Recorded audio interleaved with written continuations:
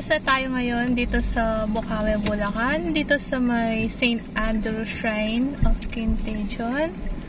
So, pupunta tayo ngayon sa ating next destination.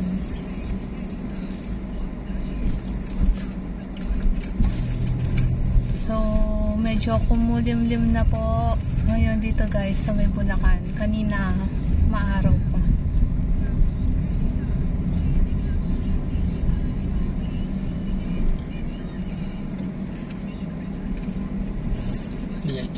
Diretso. Siya.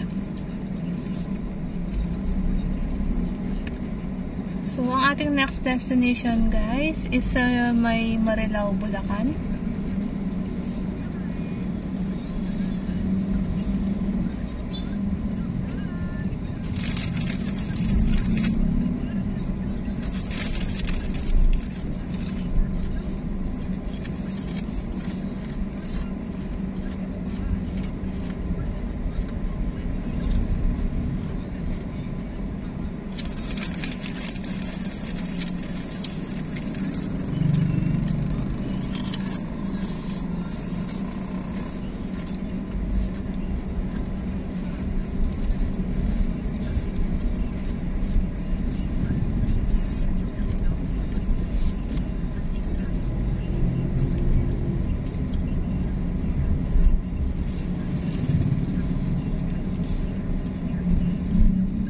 Ano itong pupuntahan natin?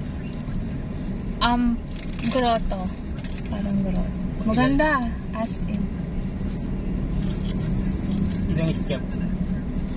Ah, yun lang. Di ko mag-iya. Tignan natin kung ilang ano siya. Hindi siya bundok. Pataas lang siya na nasa taas ano. Pero hindi siya bundok na. Hagdanan lang.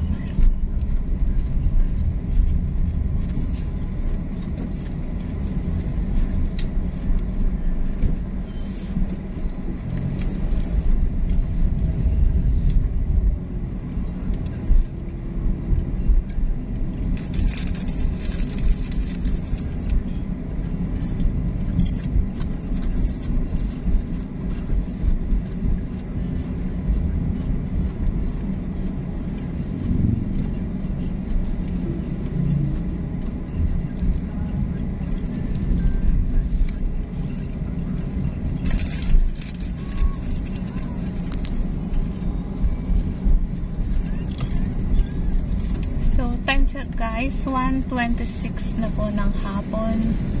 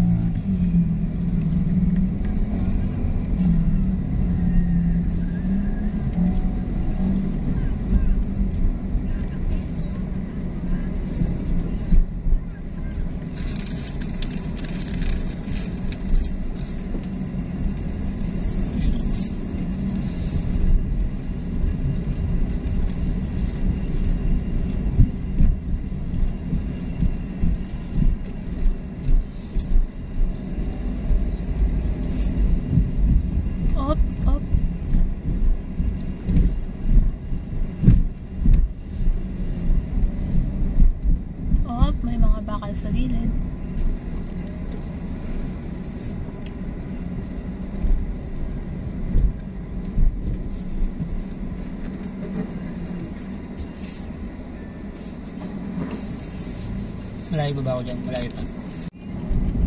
Pero historical kasi yun. Sikat yun. Since elementary, ano, pinag-aaralan.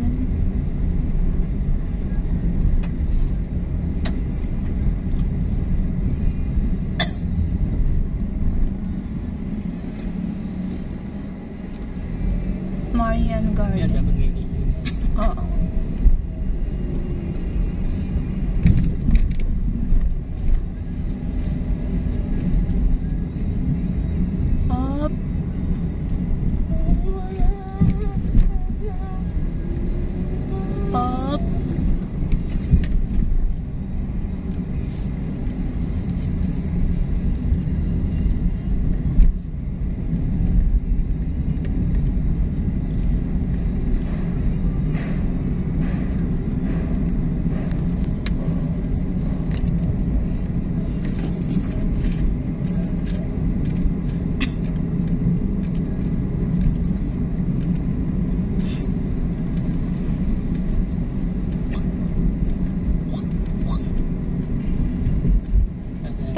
7 kilometers. 3.9? 3.9 na lang.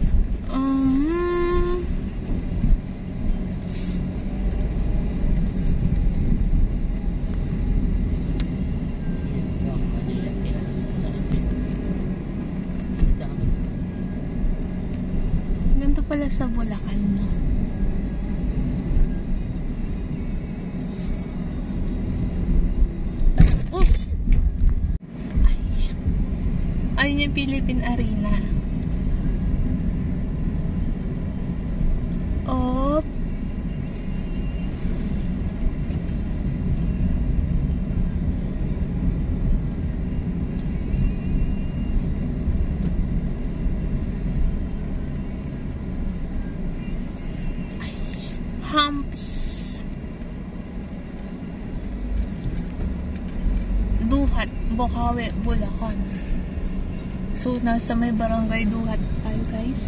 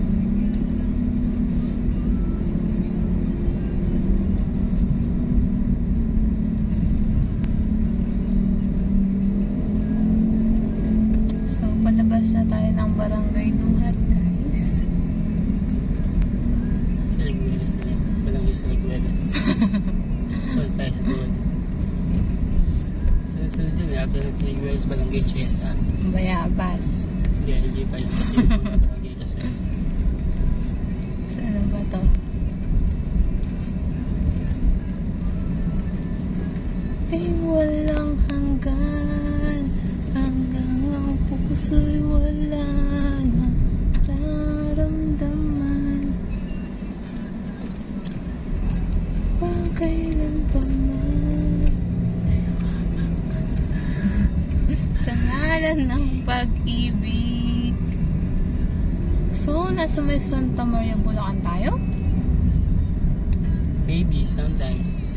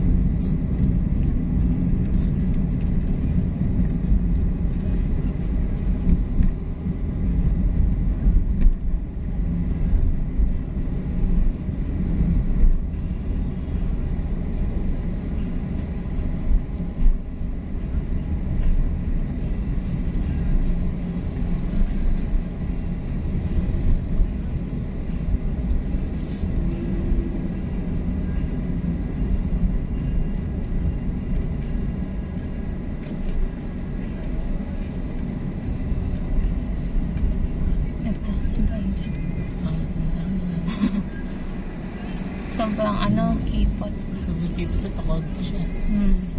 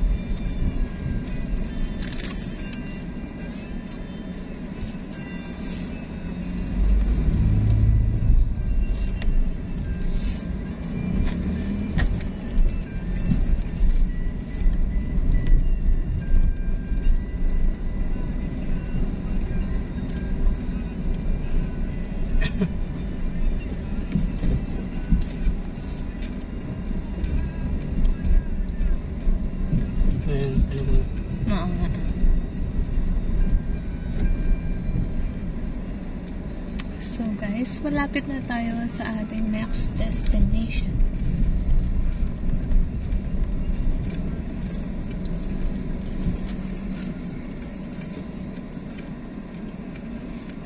Ito ba? O sa kabila?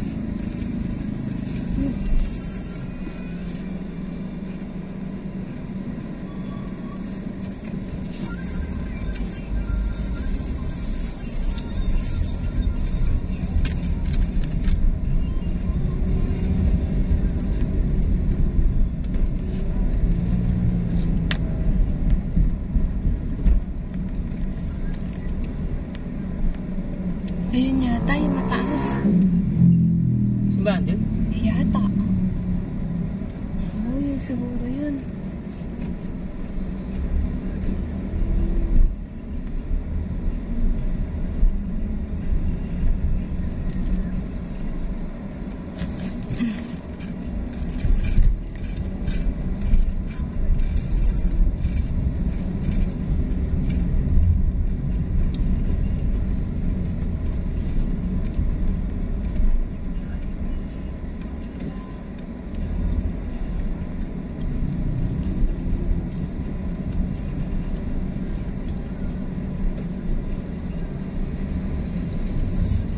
Mm. Ba, ito na. Saan tayo? Yung usundan?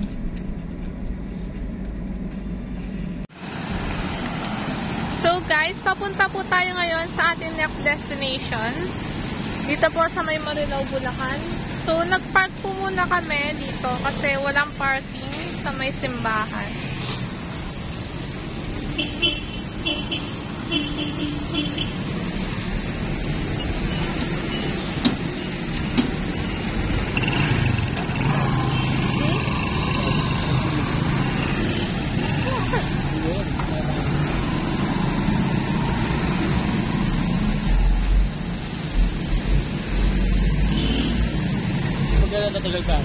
Hindi pa kita lilitan.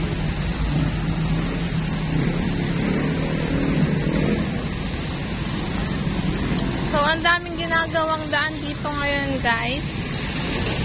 Kaya medyo traffic po.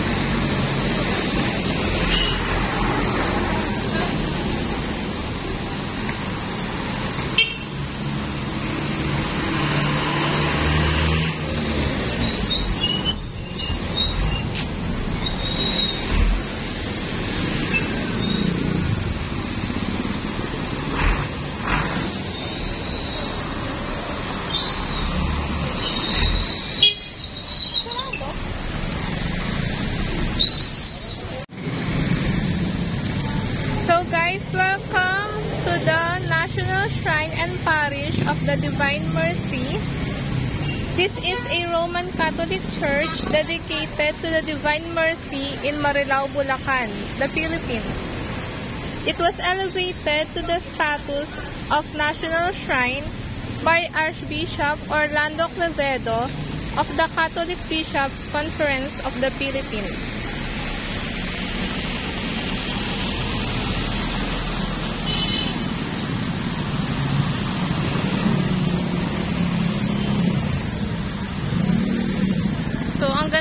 Ganda po ng structure ng simbahan, guys.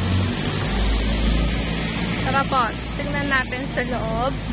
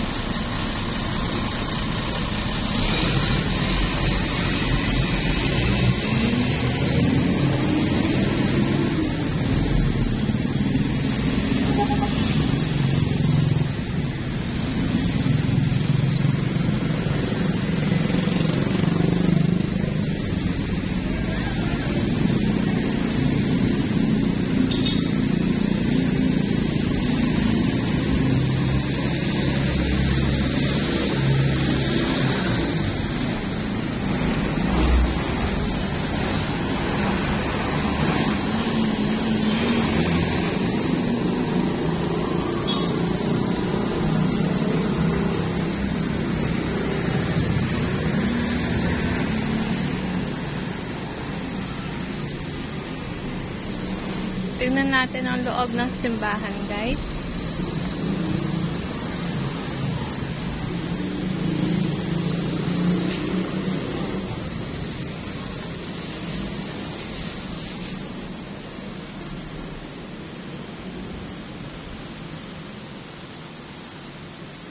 Ang ganda po sa loob ng church.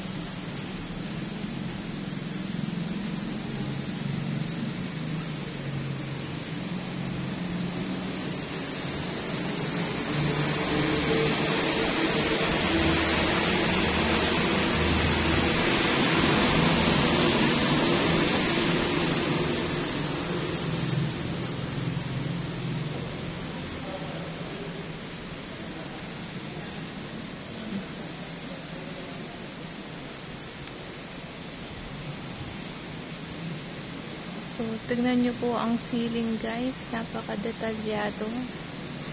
Ganda po ng pagkakagawa.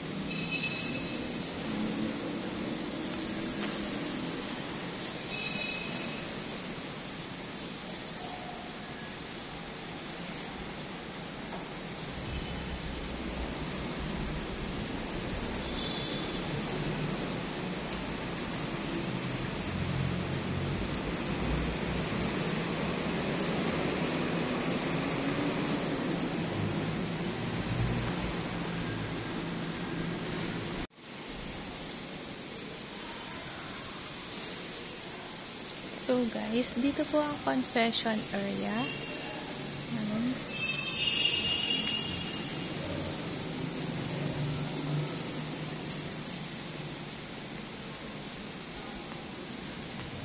So, ito po ang gilid ng simbahan.